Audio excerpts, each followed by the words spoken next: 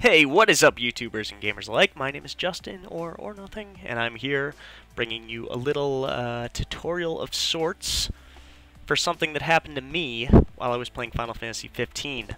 So if you fly your car over to the Pitioss Ruins in the uh, upper left corner of the map, and you happen to crash land your car so that it doesn't kill you, but it does damage the car to the point where it won't fly again, you may find yourself in the same boat that I did, where I essentially thought uh, that the game was glitched and my save was corrupted because I could now not leave the ruins and I was trapped here forever and yeah, I was pretty upset. I was swearing at Square Enix a lot, so Square, I apologize. My B. Uh, so what I wanted to show you guys with this clip is that even if you do damage your car and it won't fly, there is in fact a way for you to climb out of here manually. So obviously you can't climb in. You do need the flying car to get here, but you do not need it to get out. So this clip is just going to show you me essentially wandering around uh, the Pitioss ruins area for a little while until I find the walk huh. out. That dungeon was insane, by the way. Uh, blast. I mean, this game's not exactly designed for precision platforming, but uh, it was still incredibly cool, so I definitely recommend you check it out. So you can see me here trying to jump out of here any way that I can.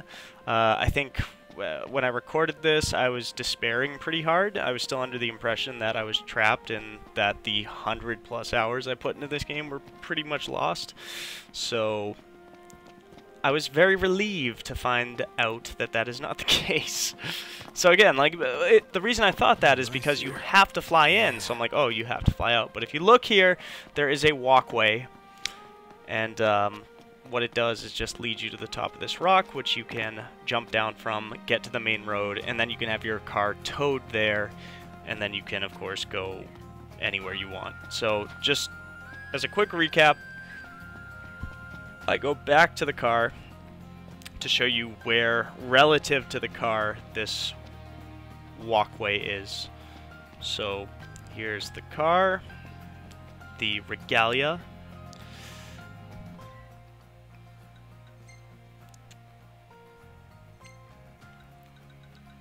I think I'm showing here just like, so I can't tr fast travel anywhere from the car. The car is pretty much useless. You can see the windshield's all cracked up. Forecast clear skies with the temperature rising.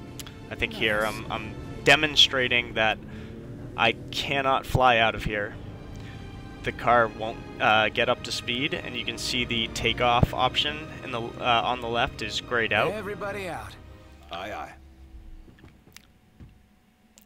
So having demonstrated that,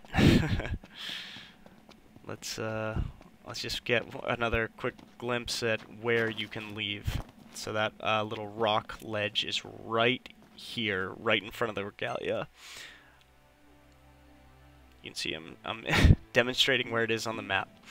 So if you come up here, again, you can drop down into the main map, you just need to run forward for a little bit and uh, you'll hit the main road and then you can have your car towed there. So don't despair, you're not stuck.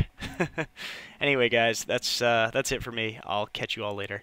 Bye-bye.